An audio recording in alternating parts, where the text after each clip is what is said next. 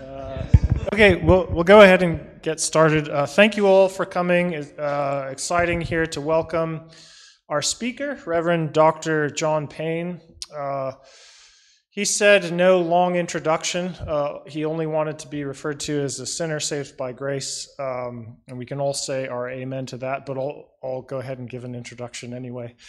Um, uh, he's the, the pastor of, of Christ Church Presbyterian in uh, Charleston, South Carolina, uh, in the PCA, uh, executive director of Reformation um, uh, Network, Go- Gospel Reformation Network, uh, editor and contributor to a number of volumes, not least the, the absolutely terrific Lectio Continua commentary series on the New Testament uh, titles on um, the Heidelberg Catechism and the Belgic Confession and uh, recovering Reformed worship in the 21st century. And so it's very exciting to have him here as our speaker today. Uh, we'll hand over to, to Reverend Payne, and then he'll speak, and then I'm sure we'll have time at the end for questions. Uh, so thank you all.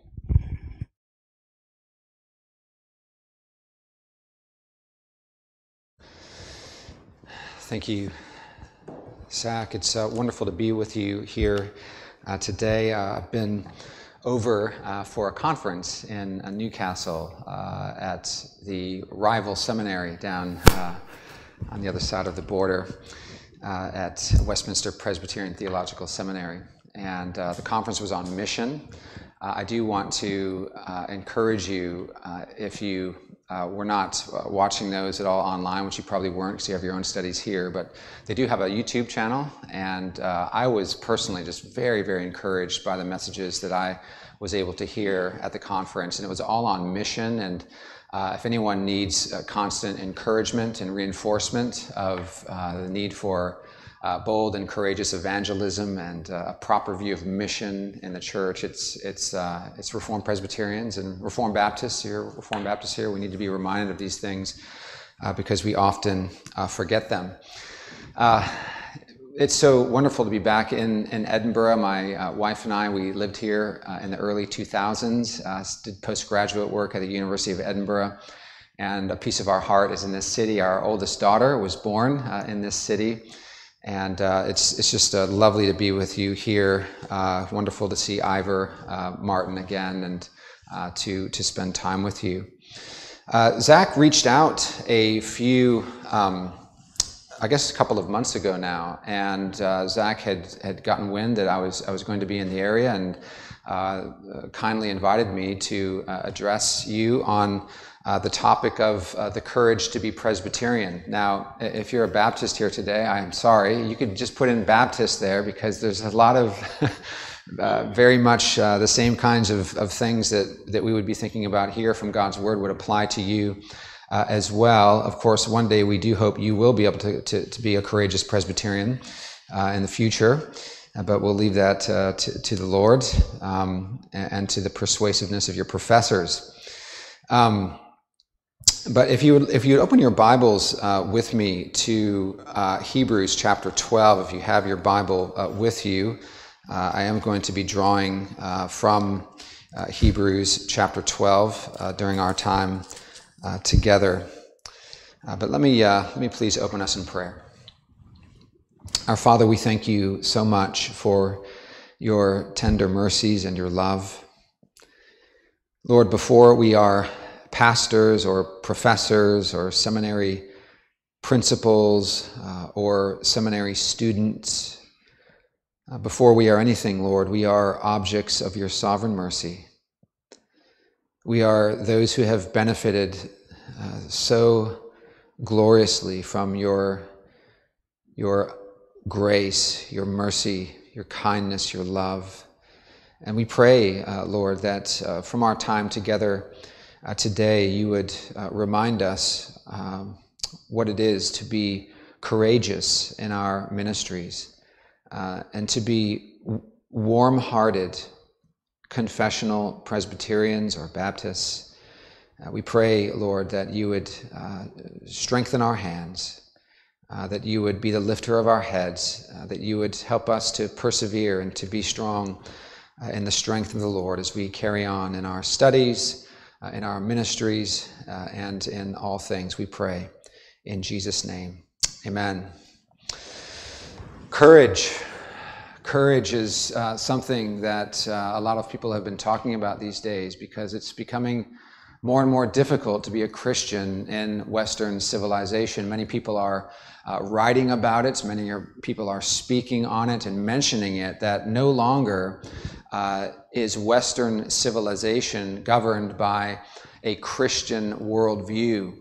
Uh, when we look at uh, our government, when we tap the average person on the shoulder on the street and begin asking them simple questions on morality, we find uh, that no longer are people responding in the ways they would have responded, say, 30 or 40 years ago. There would have been a, a conventional answer that would have connected in some way to a Christian morality, and we are not seeing that anymore. We are more like Shadrach, Meshach, and Abednego uh, in uh, Babylon. Uh, we are more like Daniel in Babylon. We are more like uh, the prophets who look around and, and uh, wonder if anybody uh, believes the same things that we believe uh, anymore. Now, of course, that's a bit of, of an exaggeration. Uh, we are thankful for a, a, very large remnant that still is uh, around in, um, in the UK and, and America and, and other places uh, in the West.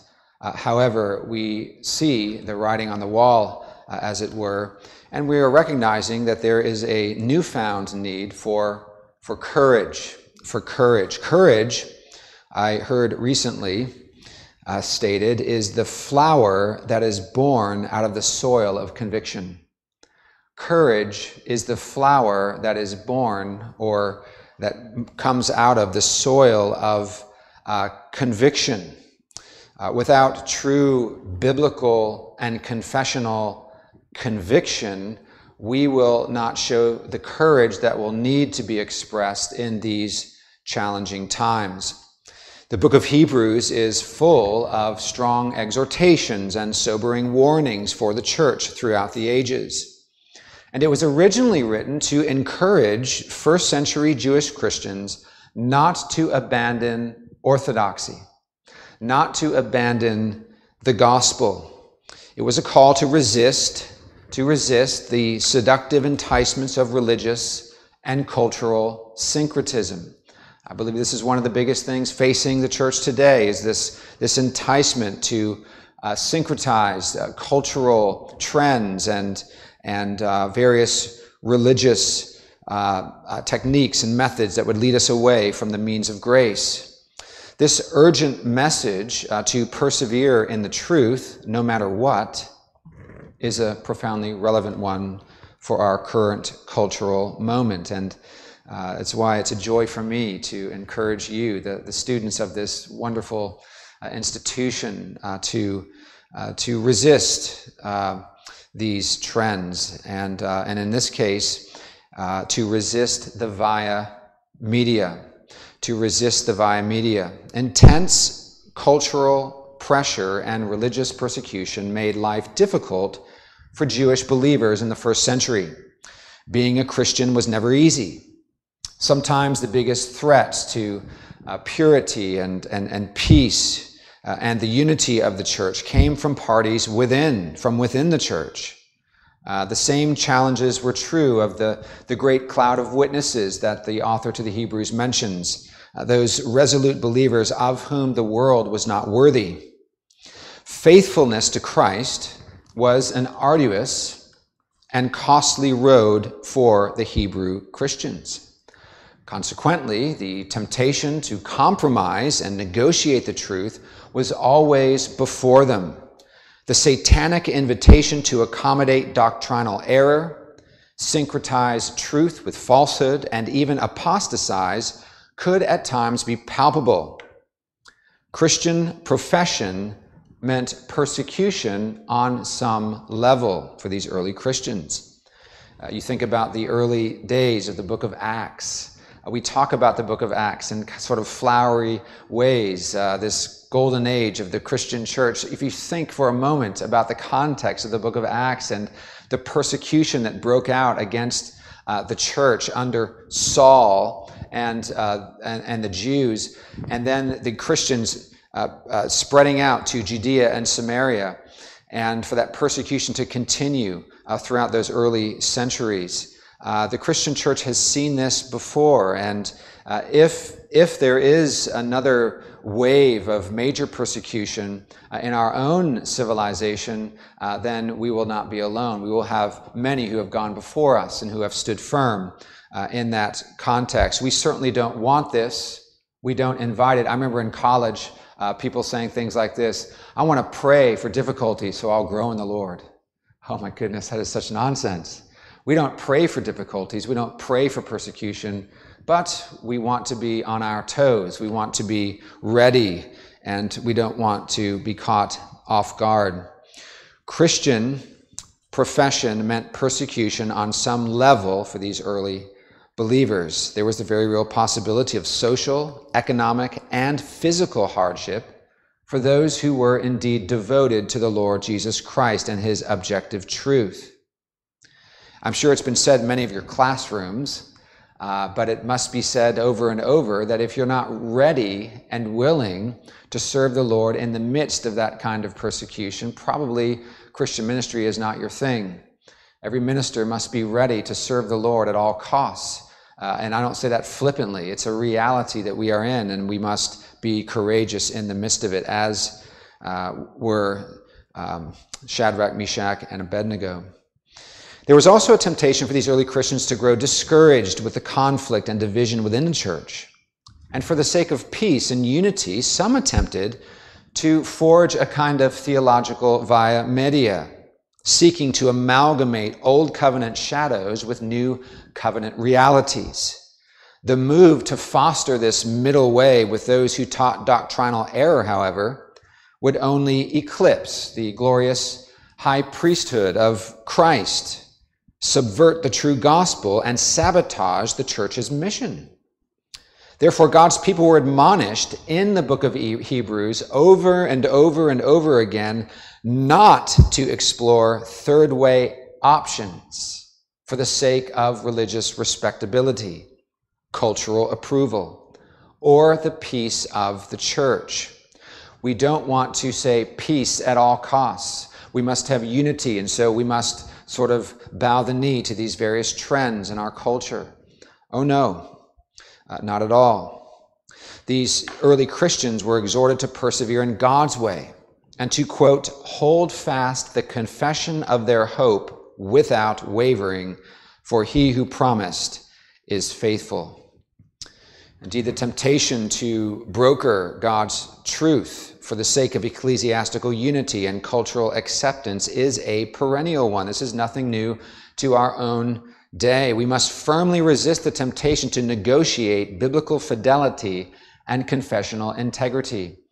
I don't know how much you know about what's going on in uh, America, and I know there are some uh, similar patterns here uh, in the UK, but there is this kind of uh, chipping away at orthodoxy, not by sort of full fledged liberalism, but a kind of progressivism that is slowly eroding orthodoxy. Things like side B gay Christianity, things like the social justice movement and CRT, uh, things like egalitarianism, and we could just keep uh, going down uh, the line. And slowly, with small compromises at the presbytery level and leadership level, uh, the teaching begins to be devoid of clarity as it concerns marriage and, and human sexuality. And so, what you have is this kind of quiet acquiescence that's softly killing the church. We need men to stand up in pulpits and to clearly and boldly not shrink back from declaring the whole counsel of God and to be clear, particularly on those areas where everybody is getting very confused because the messaging that's constantly coming at us. Um, I wish I had a copy for every one of you right now, and, and, I don't. And Ivor, maybe we can talk later about getting uh, the men some of these. But uh, I worked with a friend of mine uh, back uh, home uh, from Escondido, California, Chris Gordon, who has just written a New Reformation Catechism on Human Sexuality. It is a catechism for the moment, and it's written in the style of the Heidelberg Catechism. It is extraordinarily pastoral, and it takes us from creation to the fall to redemption to restoration. And in, in all of these 41 questions and answers, it wonderfully and pastorally and warmly unpacks and compassionately unpacks the biblical teaching on human sexuality. That's the kind of thing that we need in our own day. And we need men to take it up and to teach it uh, and to give it to their congregations. But we must resist the temptation to negotiate the truth. Um, uh, and I want to encourage us from Hebrews 12, 12 through 17. Look with me there if you would. Hebrews 12, 12 uh, through 17. Therefore, lift your drooping hands and strengthen your weak knees, and make straight paths for your feet, so that what is lame may not be put out of joint, but rather be healed. Strive for peace with everyone and for the holiness without which no one will see the Lord. See to it that no one fails to obtain the grace of God, that uh, to obtain the grace of God, that no root of bitterness springs up and causes trouble, and by it many become defiled, that no one is sexually immoral or unholy like Esau, who sold his birthright for a single meal. For you know that afterward, when he desired to inherit the blessing, he was rejected, for he found no chance to repent though he sought it with tears. Friends, the, the book of Hebrews is a, a, ravishing portrait of the person and work of Christ. It's all about Jesus being better. He's, he's better than uh, Aaron. He's better than uh, all the priests. He's better than the angels because he's the, the eternal Son of God. He's, he's better. Uh, his, his all sufficient mediatorial work is better than that of the old covenant shadows. It's the fulfillment and realization of them. And the church will do well to become more familiar with all of these ideas.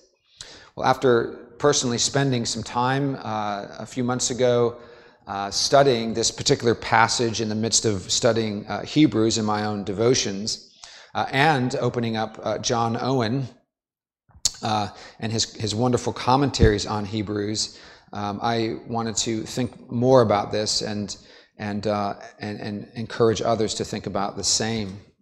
The author or preacher of Hebrews is fully aware of the church's problems. He understands that there are deadly plagues that are plaguing the body of Christ. Rather, however, rather than ignore or dismiss these spiritual contagions, he confronts them head on.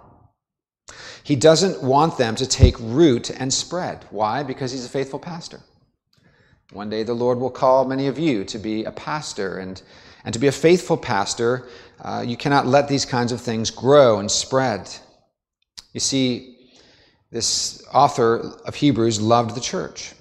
John Owen writes this quote, It is the duty of all faithful ministers of the gospel to consider diligently what failures and temptations their flocks are liable or exposed unto, so as to apply suitable means for their preservation. In this section of Hebrews, the church is being exhorted and admonished through powerful metaphors. These metaphors are both athletic and horticultural. And he begins the athletic metaphor uh, at the beginning of chapter 12 at the beginning of chapter 12. Now, I, I especially appreciate, appreciate athletic uh, uh, metaphors because I used to play soccer uh, professionally, and uh, it was my life for 20 years. And, and I even have been on a missions trip with Will Traub, uh, using soccer as a way to bring in immigrants to share the gospel. That was a wonderful trip that we took together many, many years ago. I don't think we had as much gray hair then, Will, um, but here we are. But in, in chapter 12, verse 1, the author writes, Therefore, let us lay aside every weight and sin which clings so closely, and let us run with endurance the race that is set before us. Let us run with endurance. The Christian life, the Christian ministry is not a sprint.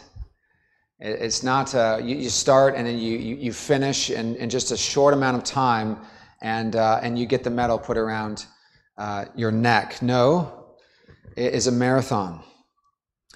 The preacher compares the Christian life to a race, and his athletics metaphor resumes in verses 12 through 14 of our text that we're looking at now. He exhorts God's people to, quote, lift your drooping hands and strengthen your weak knees and make straight paths for your feet, so that what is lame may not be put out of joint, but rather be healed. But rather be healed. In other words, he is urging the church to be roused from their spiritual lameness due to doctrinal compromise and to return to the straight paths of Christian truth and practice.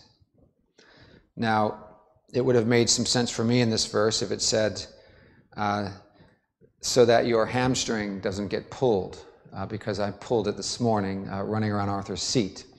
Uh, there are all kinds of injuries you can get from running. The point Paul is making here is that if we continue to allow these poisonous doctrines to, to come into the church and to spread around in the church, and there is no man to stand up and say, This must stop, it is wrong, and here is the truth, uh, we will continue down a very bad path. And so he urges them to be healed before they are put out of joint. Some in the church were like distance runners who had wandered off course. They were lost, they were slumped over, they were exhausted, their hands were hanging down, their knees were devoid of strength, they were unsteady, they were accommodating error for the sake of unity and peace. John Owen explains that by the preacher's words, quote, that which is lame the apostle peculiarly intends those that would retain the Jewish ceremonies and worship together with the doctrine of the gospel. For hereby they were made weak and infirm in their profession as being defective in light, resolution, and steadiness. As also, he continues to write, seemed to halt between two opinions, as the Israelites of old between Jehovah and Baal this was that which was lame at that time among the Hebrews, and it may, by analogy, be extended unto all those who are under the power of such vicious habits, inclinations, or neglects as weaken and hinder men in their spiritual progress. And so, shouldn't we be compelled to ask, no matter what background we are from, no matter which church we, we come to or are training for, should we not be compelled to ask when studying a text like this, in what ways might we, as denominations, as churches, be, quote, made weak and infirm in our profession as being defective in light, resolution, and steadiness? Now, I would argue that the subtle and sometimes not so subtle accommodation of certain aspects of our current moral revolution has made us weak and infirm and is close to putting us out of joint. These accommodations of, of, of particular facets of the Cultural Revolution uh, is the biggest threat to the spiritual health and future viability of our churches. You see church after church, pastor after pastor, even denominations who are allowing these things to creep in and they are destroying ministries. Some would say that the PCA is the kind of uh, strong uh, you know, battleship of Presbyterianism in the United States. Maybe people aren't saying that anymore. I don't know, but uh, I'm here to tell you that we we have things that we need to to work through. Uh, there are challenges to the orthodox of our own denomination, orthodoxy of our own denomination. Uh, just this past week, uh, one of our own ministers, who is a minister in good standing in the PCA, I was speaking in the Revoice Conference, and some of you will know about the Revoice Conference and its push of side B gay Christianity, which many, many Christians and leaders who struggle with same sex attraction are speaking out against because they understand that they are not teaching biblical truth about human sexuality. In fact, at the Revoice Conference, again, where one of our ministers uh, is one of the main speakers every year and whose church hosted it, uh, one of the speakers uh, refer it's a, it's a woman who dresses like a man and wants to be referred to as they them. They are going to seminary. Who? You and who? No just just me. I'm a they. Um, so two years ago folks who would have been defending revoice are now seeing things continue down the path of the way these things so often go. This moral revolution has overwhelmed Western civilization and is especially manifested in the LGBTQ plus and critical social justice movements. Intersectionality is the new reigning religion in the West, and her prophets, priests, and rulers are seated on the highest thrones of earthly power.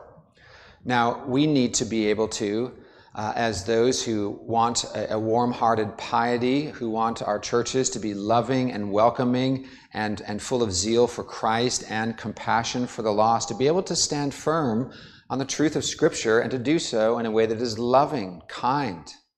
Um, this is not some sort of a blast. Uh, uh, like, well, we've sort of got it all together, and so you need to get your business together before you come join us. This is not a sign out in front of the church that there are certain people that aren't welcome. Absolutely not. Absolutely not. Uh, but we must stand firm for the sake of the world. We need to be against the world, the world's values, in order to be for the world uh, uh as we reach out to them with, with the unadulterated truth of Scripture. A mission approach to world mission that seeks to accommodate the culture in order to reach the culture will be reaching the culture with something different than what the apostles preached. And a culture much more down the line. Uh, in fact, it had, it had never received the, the, gospel. It had never known churches. Uh, uh, and, and, so they were in these idolatrous, uh, perverse cultures, and they were preaching an unadulterated gospel. Ought we not uh, to do the same? Sadly, this insidious revolution has found a foothold in a growing number of our own churches in the PCA.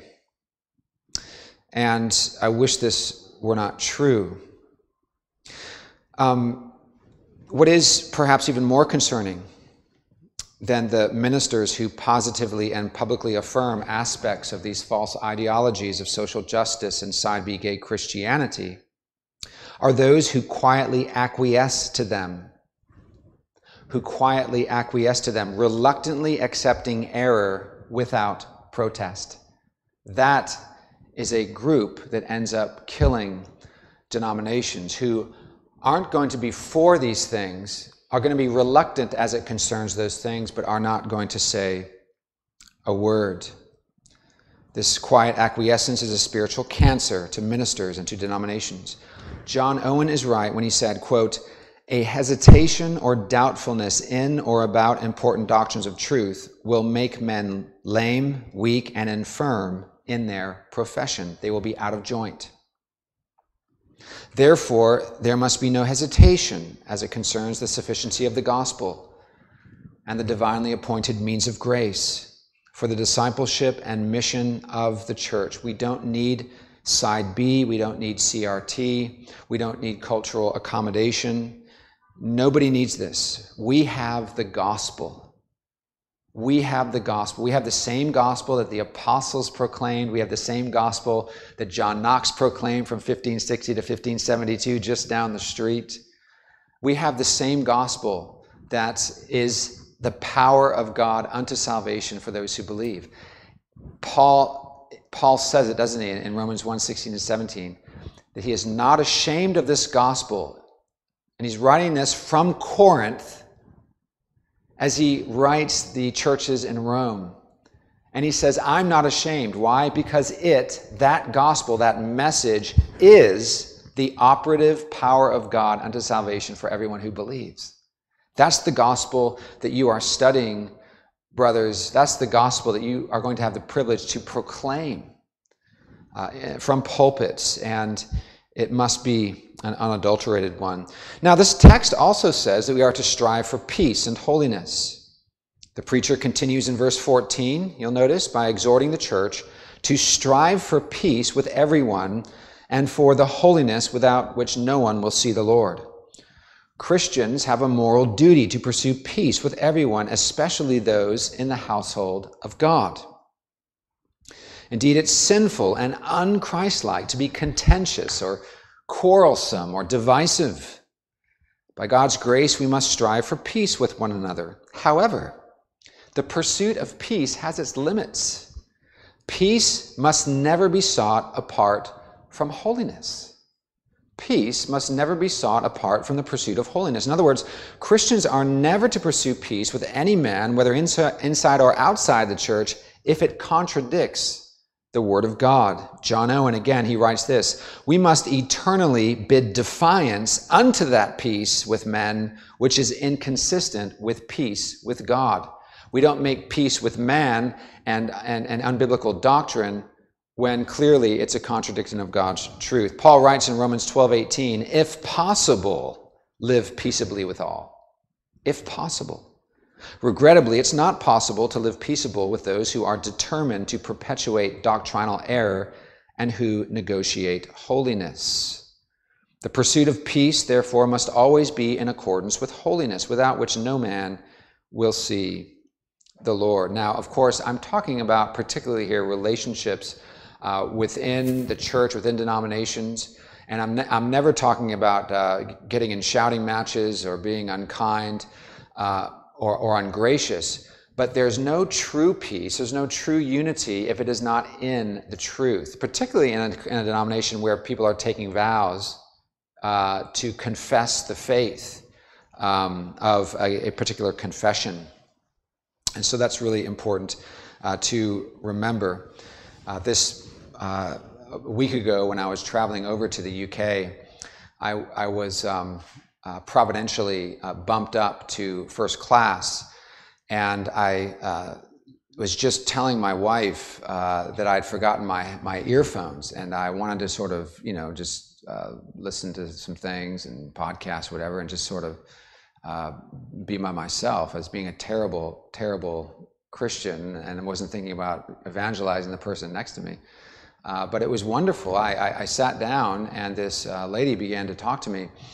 And uh, without spending too much time, uh, she was really engaging me a lot. And uh, we talked for 90 minutes straight. And by the end of the conversation, I realized that this was, um, uh, and, and, she was very engaging, very interesting, very smart. And I found out she's a, a four time New York Times bestseller, liberal political activist uh, and uh, former Democratic presidential candidate.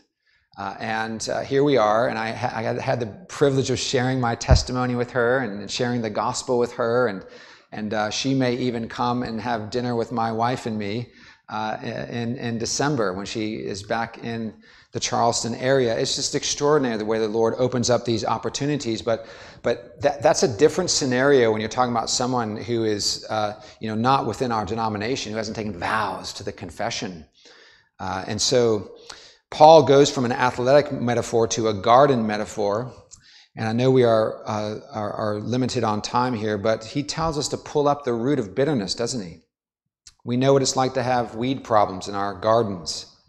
If we're not vigilant, our gardens can quickly become an assortment of weeds spreading throughout the yard, choking out the grass and the flowers. Interestingly, in verse 15 of our text, the preacher changes his metaphor from athletics to horticulture. And he exhorts the church to see to it that no one fails to obtain the grace of God, that no root of bitterness springs up and causes trouble, and by it many become defiled. Why does he issue this sober uh, warning to the Hebrews? Well, because there were some in the church who were empty professors. Professing to be orthodox and godly believers, they were in reality sexually immoral and profane. They were like Esau, forsaking the eternal blessings of the covenant of grace for temporal comforts, for fading pleasures. They were slaves of sin and not slaves of righteousness. In that miserable condition, devoid of faith and repentance, these empty professors would fail to obtain the grace of God. What was this root of bitterness? Why did it pose such a clear and present danger for the church? Well, this phrase finds its origin in Deuteronomy 29, 18, and 19. You can look that up later. But by quoting this passage, the preacher is warning the Hebrews about the root of bitterness that strengthens hypocrisy in the church, often through sexual deviancy. And it inclines the heart towards apostasy. It, it leads to the defilement of many in the church. It's the poisonous root that J. Gresham Machen warned of during his fight for orthodoxy in the mainline Presbyterian Church in America, a root that many chose to ignore for the sake of ecclesiastical peace and toleration and unity. It's also important to remember that roots are hidden, they can't be readily seen or spreading. Seen spreading. In the same way, bitter roots of hypocrisy, doctrinal compromise, and perverse views and practices of, of, of sexuality are often hidden from view. But at one point, these, these roots, they break forth and they begin to, to come into focus. And they must be courageously confronted and uprooted through loving discipline in the church. The spiritual health of the church depends on it. Listen to what John Owen says, quote, spiritual evils in churches are progressive. From small, imperceptible beginnings, they will grow and increase to the worst of evils. And it will hence follow, he writes, that it is the duty of churches to watch against the first risings and entrances of such evils among them, which is here given them in charge. Again, he writes, church inspection is a blessed ordinance and duty which is designed by Christ himself as a means to prevent these contagious evils in churches, and the neglect of it is that which hath covered some of them with all manner of defilements. This is not talking about witch hunts, about being those who are self righteously exacting. But when men stand up in pulpits and say things so clearly contrary to our confession of faith, to the Word of God, uh, we must rise up and speak clearly and lovingly and compassionately and courageously in our churches. The siren songs of progressive Christianity have seduced and ensnared the heart of the evangelical world, so many in America. This is true. We must not let it happen to us. We cannot let it happen to us and to our churches. Future generations of Christians will judge us on the way we respond to these challenges. What will be our story? Dear friend, what will be your story? What will be your story? Will they learn about denominations, about leaders that accommodated poisonous cultural trends in the name of contextualization? Will they read about churches and ministers that allowed a bitter root of compromise to grow and spread in its own garden, a church that pursued peace without holiness? Will they find out about churches that slowly became a refuge for theological ambiguity and confessional indifferentism or latitudinarianism? Will they read about denominations and churches and leaders that chose to forge a doctrinal via media for the sake of toleration and peace and counterfeit unity? Or will they learn about something different? Will they hear about men who stood firm, who did not shrink back from declaring the whole counsel of God? Will they hear about churches and ministers and seminaries that courageously rejected the powerful secular ideologies of their age and instead chose to follow the old and worn paths of ministry, mission, and discipleship. Well, I want to encourage you this afternoon uh, to be those men who do not shrink back, who stand firm in these old and worn paths of discipleship to the glory of God. Let me pray for us. Father, thank you so much uh, for this time together and for uh, the joy of uh, your word that it brings to us, that it encourages conviction and thus courage in the midst of a challenging moment in our culture. Lord, fill these men with your spirit as you raise them up to be faithful preachers of your word. Wherever you may send them, Lord, would you go with them and bless them in their ministries, we pray. In Jesus' name, amen.